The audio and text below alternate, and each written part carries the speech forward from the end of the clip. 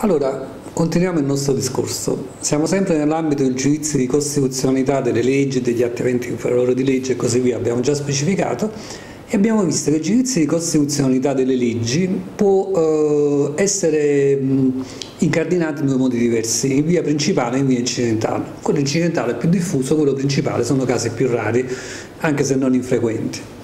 La questione comunque, come ci sia arrivata, ma facciamo l'ipotesi più più frequente, cioè siamo nell'ambito del giudizio in via incidentale e quindi la questione è arrivata alla Corte Costituzionale, ora dobbiamo vedere come la Corte Costituzionale si comporta nei confronti di questa questione che le è arrivata. Allora, ipotesi più frequente, giudizio in via incidentale, il Tribunale ha ritenuto che la questione sollevata da una delle parti, nel nostro esempio, non sia manifestamente infondata e rilevante per il giudizio, sospende il giudizio in corso, trasmissione degli atti davanti alla Corte Costituzionale. Bene. Che succede? Beh, la Corte Costituzionale è un giudice, è un giudice particolare, ma è un giudice e come tutti i giudici può prendere tre provvedimenti diversi, sentenza, ordinanza e decreto. Fra questi tre sicuramente i più comuni sono la sentenza e l'ordinanza. L'ordinanza normalmente serve ad fare andare avanti le udienze e in questo la Corte Costituzionale non fa eccezione. La sentenza invece chiude il giudizio. Ora però la Corte Costituzionale può rispondere alla, al giudice che gli ha inviato la, la, questione non con sentenza, ma potrebbe rispondere direttamente con ordinanza, sostanzialmente, sostanzialmente chiudendo il giudizio. Sostanzialmente, che cosa succede allora? Succede questo. La questione arriva davanti alla Corte Costituzionale. La Corte Costituzionale incomincia ad occuparsene e vede subito però che la questione non è tanto che è infondato, è fondato, altre cose del genere, vede immediatamente che ci sono dei problemi in merito alla questione che le è stata inviata. Per esempio scopre che la legge che dovrebbe essere incostituzionale non era rilevante per il giudizio in corso cioè eh, il giudice del tribunale, nel nostro esempio, eh, vuole che sia dichiarata la incostituzionalità di una legge, almeno pensa che potrebbe essere una cosa di questo genere, su una legge che proprio il giudizio che lui deve giudicare non è, non è rilevante, non è importante applicarla in questo giudizio. Allora la Corte Costituzionale qua la sentenza non la fa proprio sostanzialmente rigetta la questione con ordinanza, dicendo al giudice del tribunale guarda, manca questo presupposto, cioè tu non me la devi proprio portare questa questione qua, perché questa legge di cui parli non è rilevante per il giudizio che devi giudicare. Oppure la Corte Costituzionale si rende conto che la questione subito è manifestamente infondata, cioè eh, vede che il giudice del tribunale non ha ben valutato quello che doveva fare, non ha ben valutato, non ha ben valutato la questione di costituzionalità era una questione palesemente infondata, quindi manifestamente infondata, e il giudice del tribunale invece l'ha ritenuta non manifestamente infondata. Anche qua la Corte Costituzionale non entra proprio nel merito della questione se la legge contrasta o meno con la, con la Costituzione. In fondo, grosso modo lo fa, ma nel dire guarda manca il presupposto, il giudice di tribunale guarda è sbagliato perché è evidente che la questione sollevata dalla parte è manifestamente infondata, non me la dovevi proprio portare.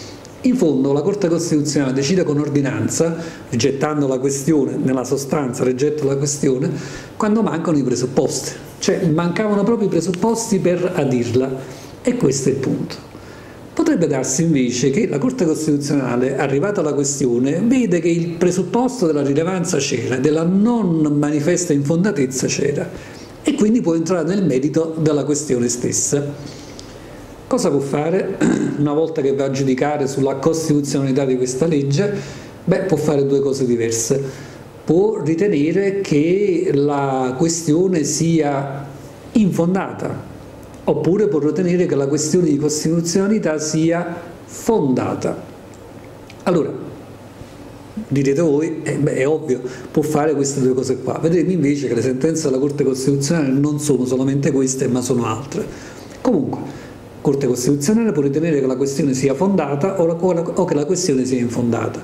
Se ritiene che la questione sia infondata, pronuncia una sentenza dove rigetta la questione di costituzionalità.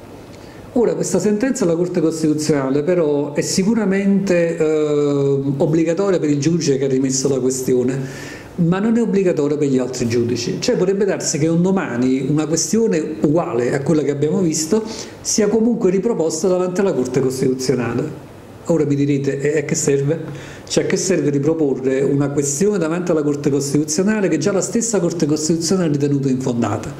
Certo, se la si ripropone dopo un mese, dopo due mesi, anche dopo un anno, eh, probabilmente sarà la stessa risposta, ma magari a distanza di tempo la stessa risposta non si avrà. Perché la Corte Costituzionale, a parte il fatto che non è sempre composta dai stessi giudici perché poi ruotano, è anche vero che eh, segue l'evoluzione dei tempi e quindi potrebbe dare che una questione che prima si riteneva infondata, magari con l'evolversi dei tempi si ritenga fondata. Mi sembra una cosa del genere è stata sotto il vecchio diritto di famiglia, dove si dava la preminenza al marito rispetto alla moglie. In un primo tempo la Corte Costituzionale, investita in una questione del genere, ritenne che era infondata la questione dove il marito era, era preminente rispetto alla moglie.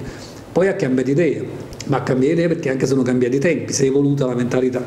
Quindi quello che voglio dire, anche quando la Corte Costituzionale rigetta con sentenza la questione di costituzionalità, non vuol dire che non possa essere riproposta la stessa questione, una questione molto simile, perché la giurisprudenza della Corte poi potrebbe anche cambiare. Potrebbe darsi invece che la Corte Costituzionale ritenga fondata la questione di costituzionalità. A questo punto la conseguenza sarà abbastanza ovvia l'annullamento dell'atto, della legge su cui si fondava questa questione. La legge è come se fosse tolta di mezzo dall'ordinamento. Tolta di mezzo dall'ordinamento, eh, a dire il vero eh, è tolta di mezzo anche con efficacia retroattiva. Quindi gli effetti si hanno sia per il processo in corso, sia per tutte le questioni che sono in corso e che sono pendenti. Sono fatti salvi però i diritti quesiti perché se noi ragionassimo per assurdo dovremmo ritenere che una legge che magari ha 50, anche 100 anni, perché la nostra Corte giudica su tutte le leggi in vigore, noi abbiamo leggi in vigore molto vecchie, poiché è ritenuta incostituzionale e quindi invalida, tutti i rapporti che sono nati da quella legge ritenuta poi incostituzionale dovrebbero essere rimessi in discussione tutti quanti. E voi capite che problemi potrebbero sorgere da una cosa del genere. Magari qualcuno ha avuto un diritto 30 anni fa viene la Corte Costituzionale, dopo 30 anni dice eh ma quella legge però riconosco che è incostituzionale, allora tu il diritto non ce l'hai più. No, se si tratta di diritti quesiti, dove ormai si sono maturate le prescrizioni o sentenza passata in giudicato, questi diritti rimangono, anche se la sentenza, anche se la legge su cui si basavano questi diritti è stata poi dichiarata incostituzionale. Quelli invece che non sono ancora quesiti, quindi come se fossero ancora pendenti, quelli sì, che vengono travolti dalla sentenza della Corte Costituzionale. Quindi sostanzialmente la sentenza della Corte Costituzionale che invalida una legge ha efficacia retroattiva, ma trova il limite per i diritti quesiti.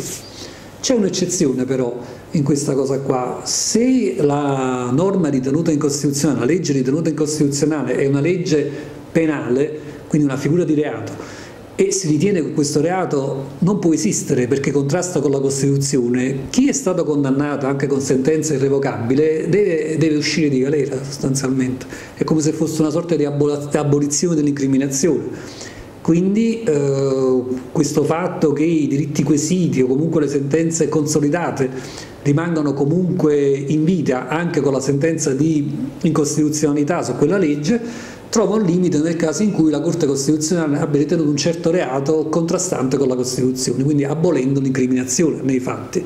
Quindi chi stava in carcere per quel reato che si è ritenuto contrastante con la Costituzione, anche se ha subito una sentenza penale irrevocabile di condanna, dovrà uscire. Quindi le due tipologie della sentenza più ovvie, e forse sono quelle a cui ha pensato il Costituente, sono quelle di accoglimento, la legge è incostituzionale, togliamola di mezzo di rigetto. La legge non è incostituzionale e quindi può essere applicata tranquillamente. E sarebbe bello così. E invece no, perché la Corte Costituzionale ha negli anni immaginato un'altra serie di sentenze che eh, diciamo più raffinate, più complicate anche da spiegare, quindi c'è un lavoro in più da proporvi. Allora, altri, gli altri tipi di sentenze della Corte Costituzionale sono le cosiddette interpretative. Scusate, noi abbiamo due tipi di sentenze interpretative, interpretative di accoglimento, interpretative di rigetto. Che significa? Diciamo subito, facciamo una piccola premessa. Quando eh, la Corte Costituzionale elimina sostanzialmente, quindi annulla, rende invalida una disposizione di legge, questo non è una cosa buona per la salute dell'ordinamento, perché togliere una legge di mezzo e magari togliere anche di mezzo le leggi che sono conseguenziali a quella legge, quella Corte Costituzionale lo può fare, provoca una sorta di trauma, una sorta di vuoto che poi spesso deve essere colmato dal legislatore, magari con provvedimenti appositi. Quindi la Corte Costituzionale, se può, cerca di evitare di eliminare completamente una legge di mezzo. E le sentenze interpretative di accoglimento e di rigetto sono forse uno dei tentativi per non arrivare a questo risultato. Per capire però questa storia delle sentenze interpretative di accoglimento e di rigetto dobbiamo, dobbiamo fare una, una sorta di premessa, di puntualizzazione che sembra che non c'entri niente, ma c'entra tantissimo invece. Allora, che differenza c'è fra disposizione e norma? La differenza è, è notevole, anche se sono strettamente collegate fra di loro. La disposizione è quello che è scritto nel testo legislativo, questa è la disposizione. La norma invece è quello che si ricava dalla disposizione attraverso quel procedimento che si chiama interpretazione. Quindi c'è scritta una cosa, la leggo, ma che significa? Uno potrebbe dire, beh c'è scritto è facile, eh, magari non è così facile, perché poi l'interpretazione prevede una serie di procedimenti logici, sistematica, storica, filologica, non è una cosa così facile. Quindi l'interprete del diritto, magistrati, avvocati o altri, leggono la disposizione e tirano fuori la norma, che è frutto dell'interpretazione. La norma è la regola che scaturisce dalla disposizione. A questo punto può sembrare che la cosa non abbia ancora una spiegazione e invece c'è qualcosa da dire. Non è detto che da una stessa disposizione si possa tirar fuori attraverso l'interpretazione una sola norma. Anzi è probabile che da una stessa disposizione si possano tirar fuori, anzi molto spesso accade, più norme attraverso l'interpretazione. Quindi una stessa disposizione, quindi uno stesso testo scritto, le stesse parole, possono essere interpretate in maniera diversa e magari in maniere tutte quante legittime, giuste. Allora cosa può succedere? Noi abbiamo detto che il giudice da cui deriva la causa, il cosiddetto giudice a quo, il giudice al quale, dal quale deriva la questione davanti alla Corte Costituzionale, ritiene che non sia manifestamente infondata la questione di costituzionalità sollevata da una delle parti nel nostro esempio. Normalmente però il giudice quando fa questa, questo rinvio alla Corte Costituzionale fa un'interpretazione della disposizione. Quello che arriva davanti alla Corte Costituzionale il più delle volte non è proprio la disposizione, ma l'interpretazione che ha fatto il giudice a quo. Ed è questa che arriva davanti alla Corte Costituzionale. La Corte Costituzionale poi verificherà prima di tutto l'interpretazione che ha fatto il giudice e quindi ci stiamo arrivando alle sentenze interpretative potrebbe capitare, potrebbero capitare due cose. Arriva la questione davanti alla Corte Costituzionale, la Corte Costituzionale legge l'ordinanza di rimezione del giudice, legge la sua interpretazione e dice effettivamente il Tribunale, nel nostro esempio, ha correttamente interpretato questa disposizione. E così interpretata questa disposizione è veramente incostituzionale. Ma è anche vero un'altra cosa però, Dice che cosa è vero? È vero che questa norma che ha tirato il giudice dalla disposizione non è l'unica possibile. Cioè da questa stessa disposizione noi possiamo tirar fuori diverse interpretazioni, cioè attraverso diverse interpretazioni più norme, norme diverse. Allora io Corte Costituzionale, piuttosto che togliere di mezzo la disposizione, che cosa faccio? Vieto questa interpretazione che ha dato il giudice a quo perché questa interpretazione della disposizione mi rende la stessa disposizione incostituzionale, ma lascio liberi gli interpreti di interpretare in tutti gli altri modi possibili questa stessa disposizione. Conseguenza, la Corte Costituzionale dice no, questa disposizione non può essere interpretata così, ma non perché l'interpretazione sia sbagliata, perché il giudice ha fatto bene a interpretarla, ma perché questa contrasta con la Costituzione. Ma poiché questa stessa disposizione permette più interpretazioni e quindi più norme, io lascio libere tutte le altre. In questo modo la disposizione è salva, è l'interpretazione che è tolta di mezzo. Chiaro? Quindi con le sentenze interpretative di accoglimento abbiamo che la disposizione rimane in vita. Quell'interpretazione fatta dal giudice a quo, interpretazione corretta secondo la Corte, è vietata perché contrasta con la Costituzione, tutte le altre interpretazioni sono invece libere possono essere eh, accolte, possono essere usate dai giudici per essere applicate nei casi concreti.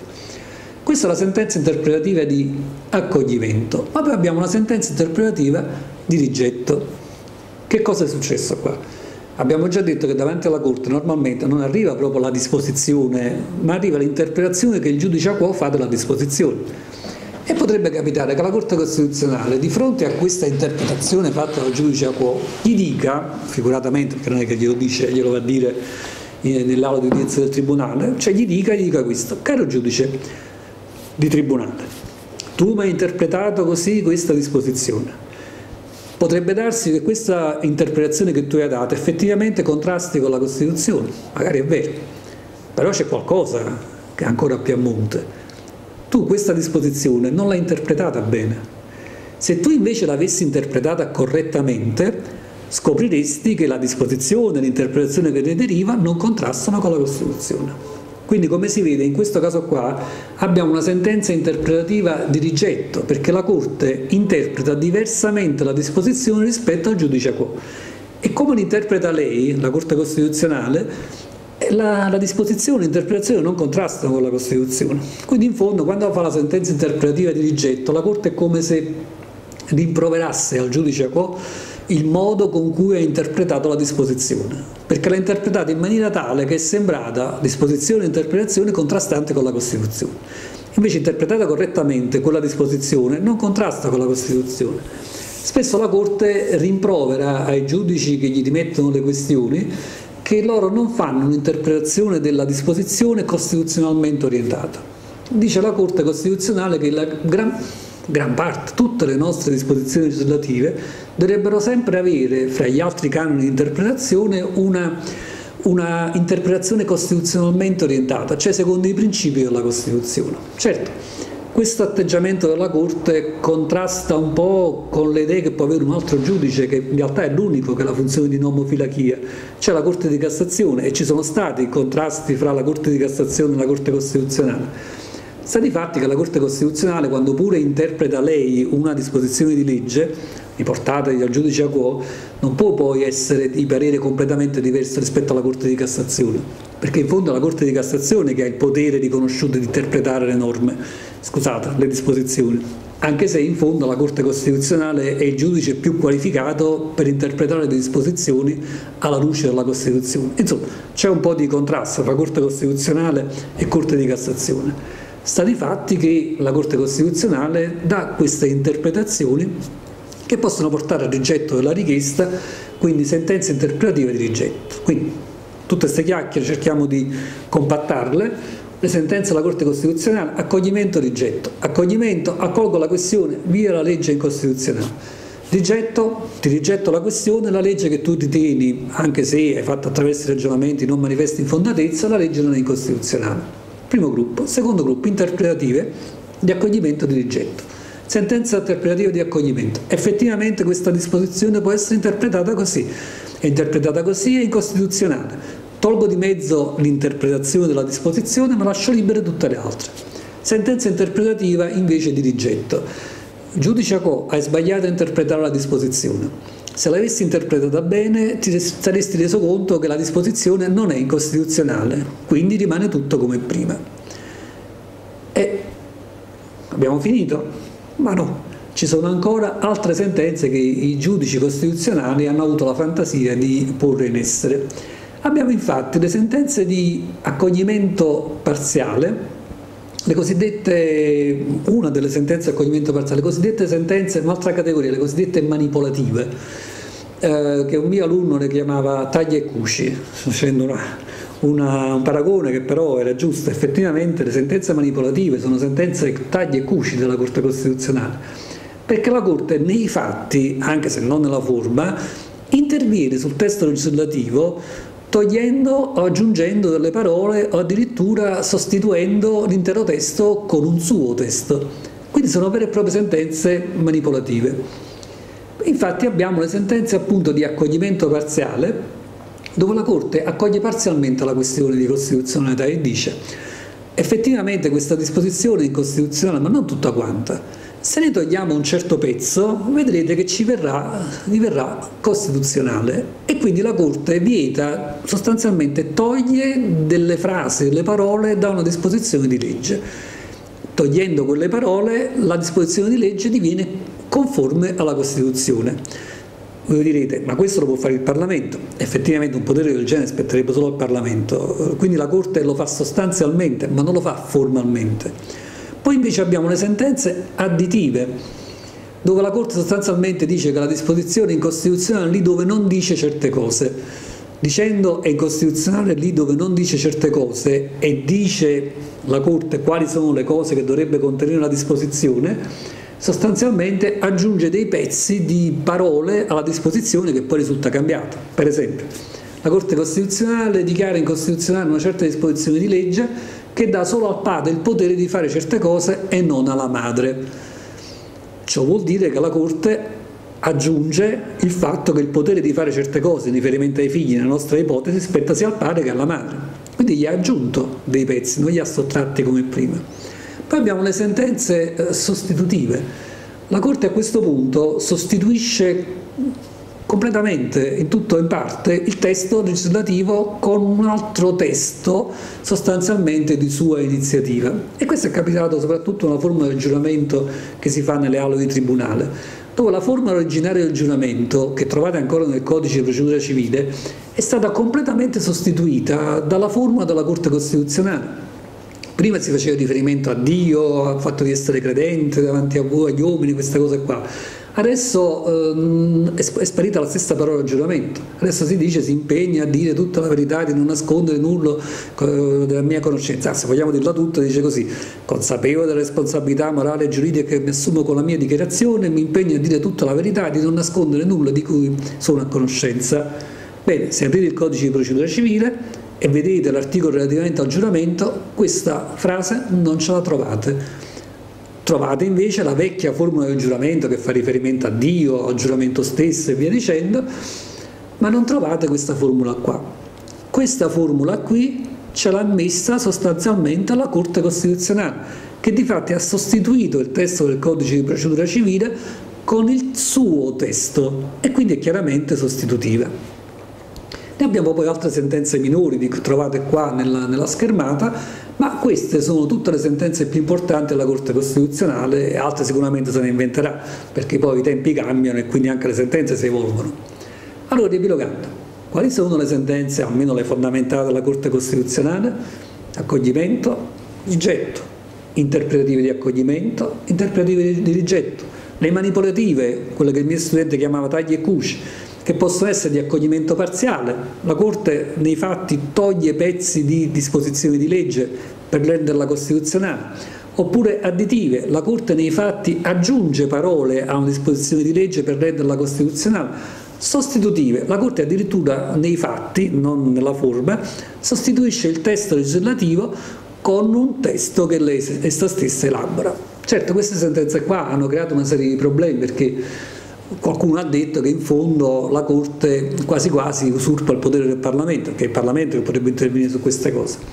Però le sentenze di questo tipo ci sono, la Corte Costituzionale le fa e quindi noi chiaramente dobbiamo spiegarle.